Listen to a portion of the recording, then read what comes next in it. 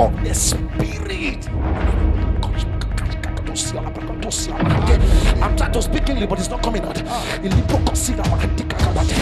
You got to understand that the reason Jesus died was to purchase for you the blessing of Abraham.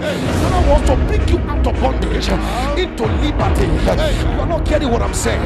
When you see that policeman, that map on there, talking about God visiting him, it's because he has got to a point where he had to tell himself, I am going for the benefits of redemption. As a child of God, you are entitled to divine health. As a child of God, you are entitled to provisions from heaven. You don't serve a dead God, you serve a mighty God. He's the same